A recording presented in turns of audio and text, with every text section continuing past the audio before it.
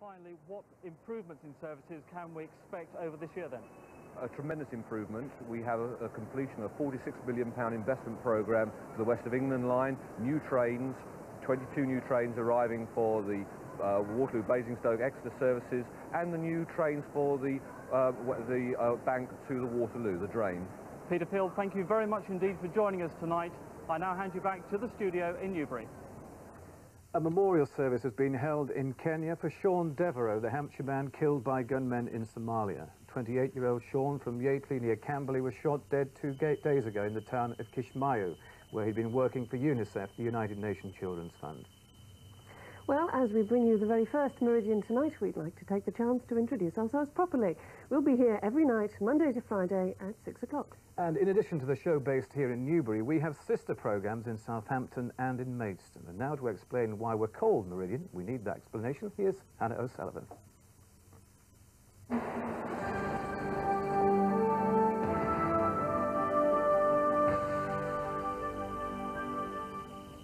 Clearer view of how the Meridian Broadcasting Company got its name, we're here in Greenwich, home of the prime meridian of the world.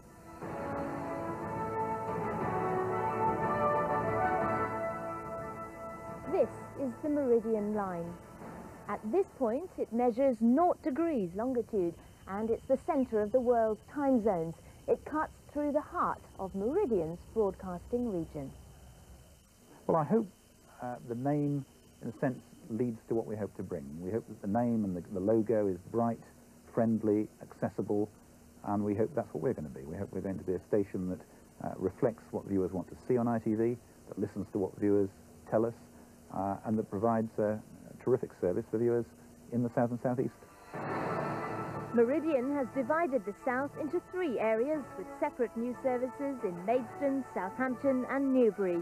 There are reporters and crews at seven other sites. Fronting Meridian tonight in Southampton are Fred Dinage and Debbie Thrower. In Maidstone, Mike Debens and Alison Holloway co-present the show. And in Newbury, Meridian Tonight for the Thames Valley and North Hampshire is presented, as you know, by Andy Craig and Mai Davis. This summer, the £3 million Newbury News Centre underlined Meridian's commitment to local news. The shell of a run-down warehouse was transformed using the latest studio and newsroom technology. After a year of planning and sheer hard graft, it's finally all systems go. But there is one other definition of meridian. In the dictionary, in between merger and meringue, it is, quote, a high point, especially of success or greatness. Watch this space. Hannah O'Sullivan on the Meridian line in Greenwich for Meridian Tonight. Absolutely, watch this space. And as we're going to be here every day, we do hope you'll join us because we'll be awfully lonely without you. Absolutely, we've got some of the best facilities I ever worked with before, and, and the furniture's not bad either, is it? It's very nice indeed. well, I'll tell you what, while we get our feet under the table, we'll take a short break. In a moment, we'll be up, up and away in Britain's biggest balloon flight. It's Berkshire as you've literally never seen it before.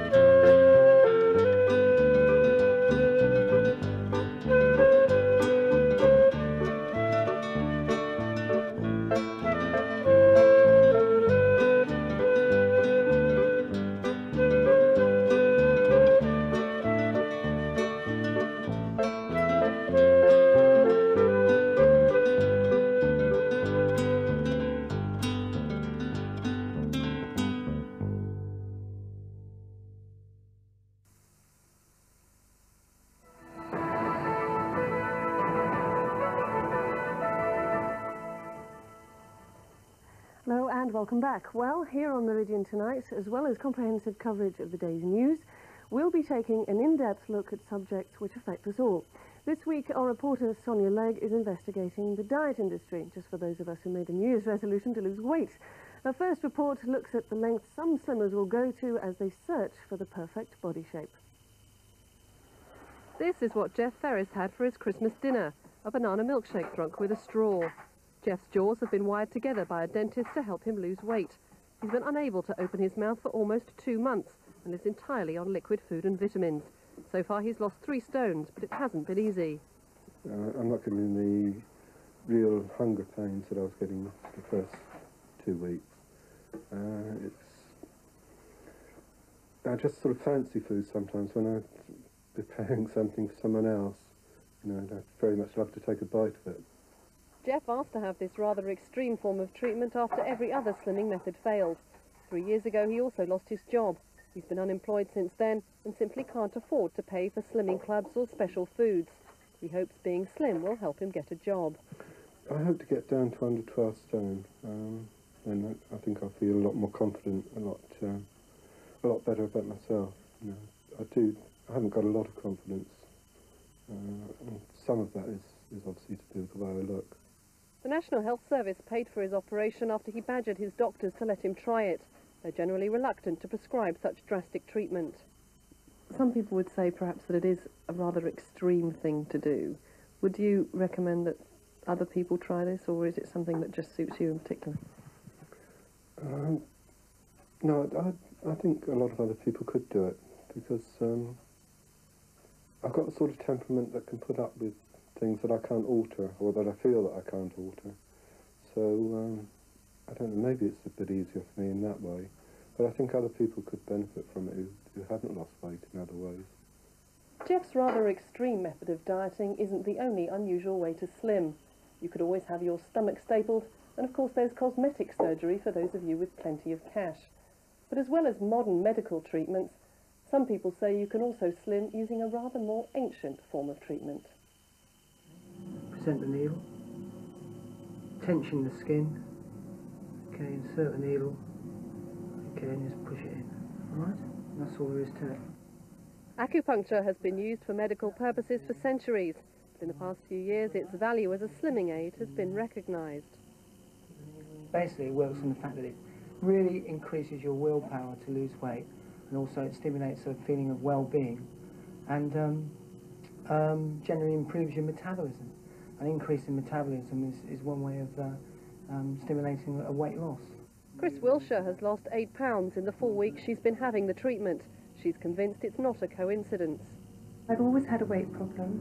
I've lost weight in the past, and within a few months I've always put it back on again, purely because I can't curb my appetite. Um, I comfort eat. Um, since I've been having acupuncture, uh, my appetite has reduced, and I'm probably eating normally, um, like most other people do, instead of eating a lot when I'm depressed. Graham claims almost anyone can benefit from acupuncture, and he insists watching the needles being inserted is more painful than actually having the treatment. It's certainly not unpleasant by any means. Um, I find it very hard to relax normally, and when Graham leaves me 20 minutes with the needles in, I feel as if I'm floating on cloud nine. That's not quite the way Chrissy Wooden described this equally unusual way to lose inches. She's having ionithermie, a treatment which involves wrapping the body in clay and sending electricity waves into the fatty areas. It It's like someone's actually lifting my muscles up and dropping them again. Is it painful at all? Not at all, no. It's quite nice actually. and now getting a contraction. It's quite comfortable when you it. Ionithermie or body wrap is designed to make you slim for very short periods of time. Staff here claim it has four main effects. Breaks down cellulite, gets rid of retained water, improves muscle tone and improves the texture of the skin. But the main reason people pay £35 for one session is the inch loss. I've got a friend's party coming up and the dress that I've had is slightly too tight on the hips and the tummy. It's a bit uncomfortable so I thought by slimming down a little bit it'll be easier to wear it. And you chose this instead of old-fashioned dieting? Well, I, although I've dieted, I find I have to exercise for a long time beforehand to actually tone up. Whereas this is like the quick, easy way. Unfortunately, most people who have ionithermie return to their original size within a few weeks. But that's a danger with many forms of dieting. Even Jeff Ferris is scared he'll return to his old habits once his jaw wires are removed in a few months' time. He's just hoping the memory of his suffering now will keep him on the straight and narrow. Sonia Legg, Meridian Tonight. Well, I'm joined now by Lyndel Costain, the district dietitian based at the Royal Berkshire Hospital. Lyndel, these methods look awfully extreme. Do they actually work? Well, it's very difficult to say whether or not they all work, and certainly they are extreme. The jaw wiring one that we saw um, in the first instance is one I could probably comment best of all. It's something that should only be done on, under strict medical supervision because there is such a danger of, of the person becoming inadequately nourished because you're on such a restricted diet.